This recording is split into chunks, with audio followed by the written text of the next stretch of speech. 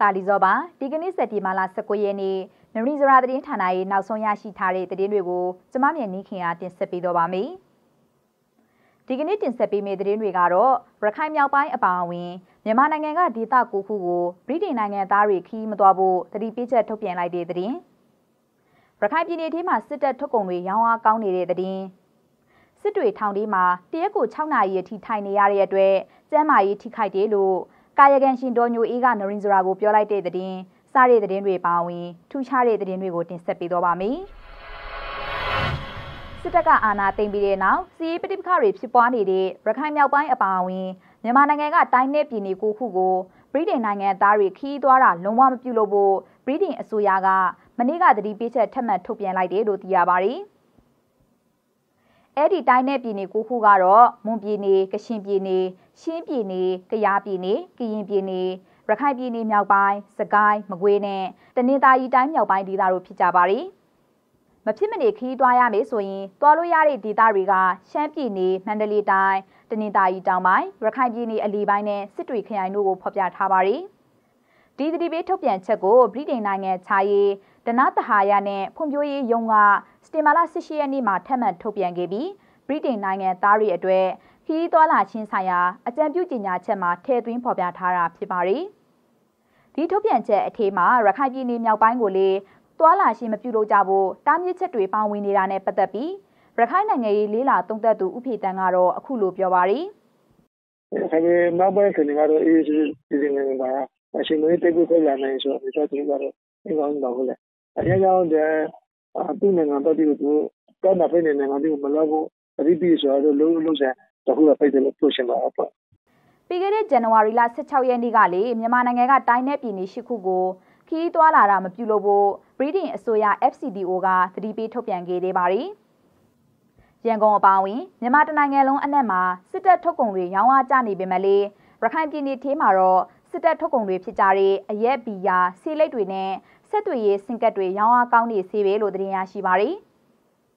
အဲ့ဒီစစ်တပ်ထုတ်ကုန်တွေကတော့မြန်မာဘီယာတကုံအရက်ဘီယာအချိုရည်အဒမန်ကိုအရက်အချိုရည်ဘလက်ချီဘီယာမန္တလေးဘီယာမန္တလေးရမ်အာမီရန်ရက်ရူဘီဆေးလိပ်ပရီမီယံကိုဆေးလိပ်တွေနဲ့မိုက်တဲဆက်တွေဆင်ကက်တွေဖြစ်ကြပါတယ်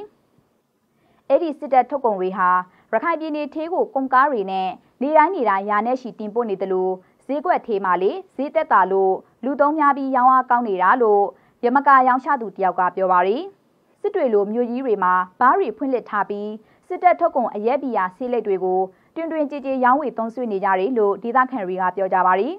စစ်ကောင်စီတပ်ရဲ့စစ်စီးရေးဂိတ်တွေမှာတော့ရခိုင်ပြည်နယ်သေးမှာကုန်စည်စီးဆင်းနေတာတွေကိုကန့်သက်ထားပြီးရခိုင်ပြည်သူလူထုအကြက်တီးဆိုင်အောင်အနူနီးနဲ့လုပ်နေပေမဲ့လေစစ်တပ်ထုတ်အရက်ဘီယာစီကရက်ကုန်တွေကိုတော့အတားအဆီးမရှိဒလဟောတင်သွင်းနေမှုကတော့တစုံတရာနိုင်ငံရေးရည်ရွယ်ချက်နဲ့လှုပ်ဆောင်နေတာဖြစ်တယ်လို့ နိုင်ငံရေးလိလာသုံးသက်သူတွေကထောက်ပြပြောဆိုကြပါရီ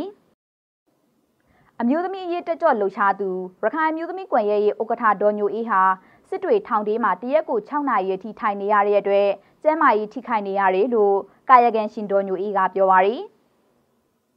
စက်တင်ဘာလ18ရက်နေ့မနေ့ကဒေါ်ညိုအေးကိုစစ်တွေမြို့နယ်တရားရုံးမှာရုံးထုတ်နေစဉ်အတွင်းသွေးတိုးရောဂါဆိုးရွားလာတဲ့အတွက်တရားရေးတာဝန်ရှိသူတွေကစစ်တွေဆေးရုံစီအရေးပေါ်ပို့ပေးခဲ့လိုက်ရပါတယ်။ တောင်းနေကြဆေးတွေကိုထောင်ထဲမှာယူထားခွင့်မရလို့အချိန်မှန်ဆေးတောက်ခွင့်မရဘူးလို့လေဒေါ်ညိုအေးကပြောပါတယ်။အသက်60ကျော်အရွယ်ဒေါ်ညိုအေးဟာပြီးခဲ့တဲ့ဩဂုတ်လ23ရက်နေ့က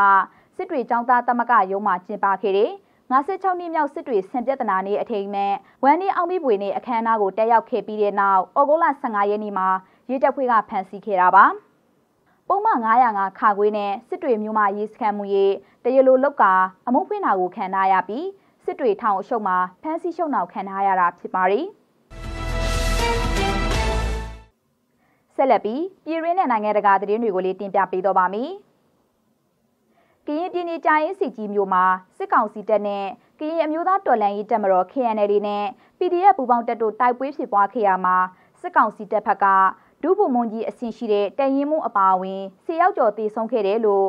NUG ရဲ့ကာကွယ်ရေးဝန်ကြီးဌာနကစတင်မာလာ18ရက်နေ့မနေ့ကထုတ်ပြန်ထားပါတယ်။ပြီးခဲ့တဲ့စက်တင်ဘာလ14ရက်နေ့ကကြာရေးစစ်ကြီးမြို့နယ်ခလေးရွာကိုစစ်ကြောင်းထိုးလာတဲ့စစ်ကောင်စီတပ်မလီလေတပ်မနီးနီးနဲ့ကရင်နေချားဆောင်တပ် BGF တို့ကအင်အား80လောက်ကို KNL နဲ့ PDF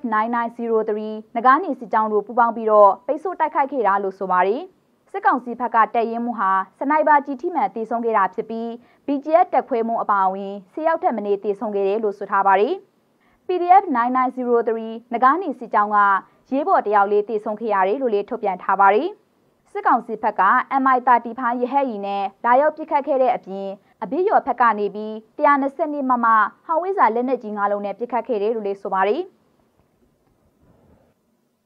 မြန်မာ၏အိန္ဒိရှင်ဘင်္ဂလားဒေ့ရှ်မှာ သွေးလွန်တိုကွေးကြောင့်တေဆုံးမှုမြင့်တက်နေပြီးဒီနေ့အတွင်းမှာတေဆုံးတဲ့သူဟာ839ယောက်အထိတိုးလာတယ်လို့ဘင်္ဂလားဒေ့ရှ်ကျန်းမာရေးဝန်ဆောင်မှုဌာနကထုတ်ဖော်ပြောဆိုပါတယ်။လွန်ခဲ့တဲ့24နာရီအတွင်းမှာလူ18ယောက်ထပ်မံတေဆုံးခဲ့ပြီးတဲ့နောက်တေဆုံးသူအရေအတွက်တိုးလာတာဖြစ်ပါတယ်။ဗိုင်းရပ်စ်အဖျားရောဂါကြောင့်နောက်ထပ်လူနာ3084ယောက်ကိုဆေးရုံတင်လိုက်ရပြီးတဲ့နောက်လက်ရှိဘင်္ဂလားဒေ့ရှ်နိုင်ငံတဝန်းက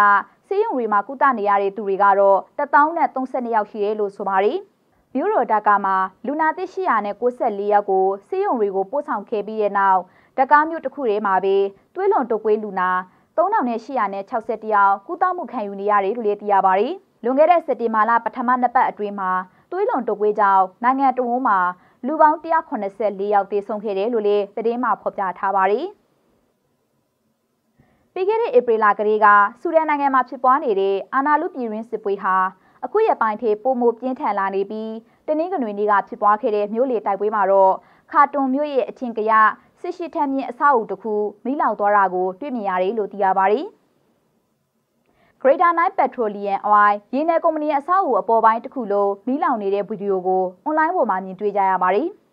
ပြီးခဲ့တဲ့ဧပြီလကစပြီးလေကြောင်းတိုက်ပွဲတွေနဲ့မြေပြင်တိုက်ပွဲတွေဟာ ခါတွန်မြို့တော်နဲ့တကွတနိုင်ငံလုံးကမြို့အများပြားမှာဖြစ်ပွားနေတာပါ။ကုလသမဂ္ဂရဲ့ခံမှန်းချက်အရလူပေါင်းတသန်းကျော်ဟာဆူဒန်နိုင်ငံကနေထွက်ပြေးသွားကြပြီလို့လေးဆိုပါတယ်။ဆူဒန်နိုင်ငံမှာပြီးခဲ့တဲ့ဧပြီလ15ရက်နေ့ကလေးက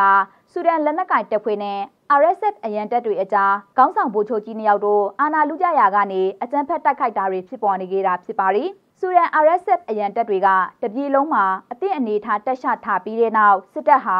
သူတို့ကိုချင်းချောက်တယ်လို့ဆိုပြီးနှစ်ဖက်တင်းမာနေကြလို့ရဲအတန်ကြာတိုက်ပွဲတွေပေါ်ပေါက်လာရတာဖြစ်ပါတယ်။ဆူဒန်ပြည်ရင်းစစ်ကြောင်းအခုချိန်ထိလူပေါင်း9500လောက်တည်ဆုံခဲ့ရပြီးလူဦးရေ9တန်းဟာနေရဲစွန့်ခွာထွက်ပြေးနေကြရတယ်လို့လည်းသိရပါတယ်။နရင်းစရာသတင်းဌာနရဲ့နေ့စဉ်သတင်းတင်ဆက်မှုတွေကတော့ဒီလောက်ပါပဲ။နောက်နေ့တွေမှာလည်းထူးခြားတဲ့သတင်းတွေကိုဆက်ပြီးတင်ဆက်ပေးသွားမှာဖြစ်ပါတယ်။ ကျမတို့နရင်းစရာကထုတ်လွှင့်တဲ့သတင်းတွေကို www.narinzara.com မှာဝင်ရောက်ကြည့်ရှုနိုင်သလို Facebook, YouTube နဲ့ Telegram တို့မှာလည်းဝင်ရောက်ကြည့်ရှုနိုင်ပါတယ်။နရင်းစရာရုပ်သံကိုကြည့်ရှုအားပေးခဲ့ကြတဲ့အတွက်ကျေးဇူးအများကြီးတင်ပါတယ်။အားလုံးကျမ်းမာရှင်လန်းကြပါစေရှင်။